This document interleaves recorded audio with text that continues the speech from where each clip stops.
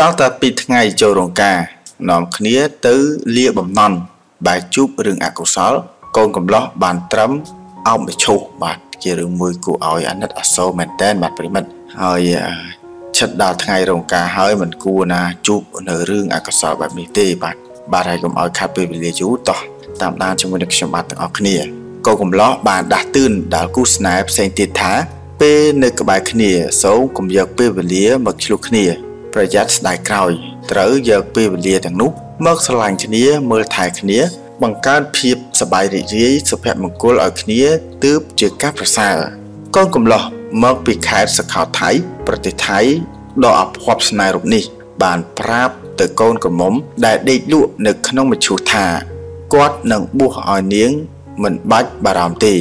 ឯបំណុលគេគាត់នឹងជួយដោះឲ្យ រឿងរ៉ាវមួយនេះគឺជាមេរៀនឲ្យគូស្នេហ៍គ្រប់គ្នា គួរតែយល់ដឹង មិនមែនមកស្ដាយក្រោយ ពេលដែលបាត់បង់នរណាម្នាក់នោះឡើយកូនក្រមុំរូបនេះបានបាត់បង់ជីវិតដោយសារតែជួបឧបទ្ទវហេតុរថយន្តជ្រុលចង្កូតទៅបុកនឹងបង្គោលភ្លើង នៅពេលដែលកូនកំឡោះចិត្តចូលរោងការឈ្មោះឆៃណរងអាយុ22ឆ្នាំ បាននាំនាងវេថកា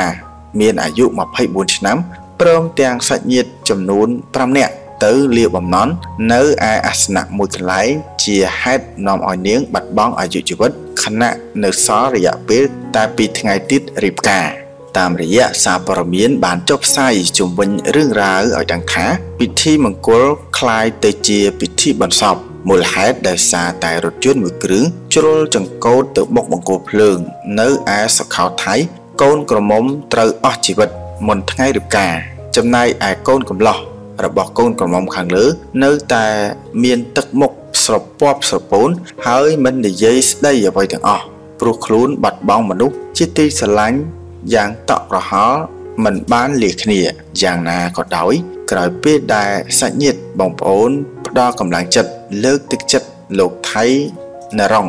បានសន្យាថា ចាប់ពីពេលនេះតទៅគាត់នឹងតស៊ូអត់ធ្មត់ត្រូវតែធ្វើចិត្តទទួលយកវាឲ្យបានទោះបីជាវាលំបាកយ៉ាងណាក៏ដោយ ដើម្បីឲ្យវិញ្ញាណក្ខន្ធមិត្តស្រីរបស់ខ្លួន ទៅឲ្យបានស្ងប់សុខព្រោះបើសិនជានាងនៅត្រង់នេះ នាងប្រហែលជាចង់ឲ្យខ្ញុំតស៊ូអត់ធ្មត់ដើរទៅមុខបន្តដូចគ្នាដែរ និយាយដល់រូបនាងភ្លាម លោកឆៃណរងក៏បានស្រក់ទឹកភ្នែកនឹកដល់មិត្តស្រីរបស់ខ្លួនព្រោះនាងជាមនុស្សល្អឧស្សាហ៍ព្យាយាមរុះរាយរាក់ទាក់និងគួរឲ្យស្រឡាញ់បើទោះបីជានាង នៅពេលនេះអាចនឹងឆេវឆាវមួយពេល តែពួកគេក៏មើលថែគ្នាបានយ៉ាងល្អមិនសូវឆ្លោះប្រកែកគ្នានោះទេភាកច្រើនពួកគេមើលថែគ្នាទៅវិញទៅមកច្រើនជាង ចុងក្រោយលោកឆៃណារងគ្រាន់តែចង់ឲ្យគូស្នេហ៍គ្រប់រូបកុំឆ្លោះប្រកែកគ្នាអីយកពេលមកមើលថែគ្នា ប្រើពេលវេលាដែលមានក្តីសុខល្អជាងព្រោះថ្ងៃមួយពេលដែលបាត់បង់អ្នកណាម្នាក់កុំឲ្យមានវិបត្តិសេរីអស់មួយជីវិតបាទហើយចំពោះអត្ថបទព័ត៌មាននេះខ្ញុំបាទសូមបញ្ចប់តែប៉ុណ្ណេះហើយនឹងសូមបន្តជូននៅអត្ថបទព័ត៌មានថ្មីមួយទៀតដែលតាក់ទងទៅនឹងខាត់សខីមលើកពីផលវិបាកនៃក្រុមតន្ត្រីសម័យ អ្នកនាងខាត់សខីមបានបង្ហាញភាពឈឺចាប់ចំពោះការវាយដំទៅលើអ្នកចម្រៀងអ្នកភ្លេងនិងឧបករណ៍តន្ត្រី នៅពេលដែលពួកគេសម្ដែងក្នុងកម្មវិធីផ្សេងៗនៅនាងខាត់សខីមកាលពីថ្ងៃទី27ខែ20បាននិយាយថានាងពិតជាជឿចាប់នៅពេលដែលគេមើលងាយអ្នកសិល្បៈតាមរយៈសកម្មភាពមិនសមរម្យដែលអាងខ្លួនមានលុយជួលនិងចង់ធ្វើអ្វីតាមតែចិត្តដោយមិនគិតពីផលលំបាក និងឧបសគ្គរបស់ក្រុមវងតន្ត្រីបានជួបប្រទះមួយរយៈពេលចុងក្រោយនេះនាងឧស្សាហ៍ឃើញភ្ញៀវវាយអ្នកចម្រៀងនិងឧបករណ៍ភ្លេងនិងមើលងាយអ្នកសិល្បៈដែលសកម្មភាពទាំងអស់នេះពិតជាឈឺចាប់ណាស់ខណៈពេលដែលនាងគឺជាអ្នកសិល្បៈនិងមានវងតន្ត្រីសម្រាប់ជួលម្នាក់ដែរអ្នកនាងថាអ្នកច្រៀងនិងអ្នកភ្លេងត្រូវគេវាយដោយសារភ្ញៀវខ្លះម្ចាស់កម្មវិធីខ្លះ គាត់កំងបត់នេះបត់នោះអត់បាន ហើយសុំថែមម៉ោងមិនបាន ដោយមិនយល់ពីគ្នាដាក់លេងព្រោះពេលខ្លះគ្នាត្រូវប្រញាប់លេងចេញពីមួយកន្លែងទៅមួយកន្លែងទៀតដោយជាឧទាហរណ៍ដោយសារបញ្ហានេះកន្លងមកមានវងតន្ត្រីមួយបានក្រឡាប់រថយន្តស្លាប់អស់ប្រមាណអ្នកដោយសារតែអត់ងងុយនេះខាត់សគីបានបន្តថាសម្រាប់នាង អ្នកសិល្បៈគឺពិតជាយល់អារម្មណ៍មួយនេះហើយ មួយវិញទៀតតាមរយៈបទពិសោធន៍ដែលធ្លាប់បានសម្ដែងជាបន្តបន្ទាប់ឃើញថាបច្ចុប្បន្នវងតន្ត្រីខ្មែរហាក់មិនសូវបានលេងយូរដូចវងតន្ត្រីសម័យនោះទេតាមបណ្ដាខេត្តមួយចំនួនម្ចាស់កម្មវិធីតែងតែកំងឲ្យមានវងតន្ត្រីសម័យលេងកំដរភ្ញៀវញ៉ាំអាហារពេលព្រឹកដោយបំបត្តិភ្លេងខ្មែរតែបញ្ហានេះខ្ញុំមិនយល់អញ្ចឹងហើយអាចជៀសបានគួរតែជៀសទៅ ហើយបើយើងសំណុំពរតែឯងគឺ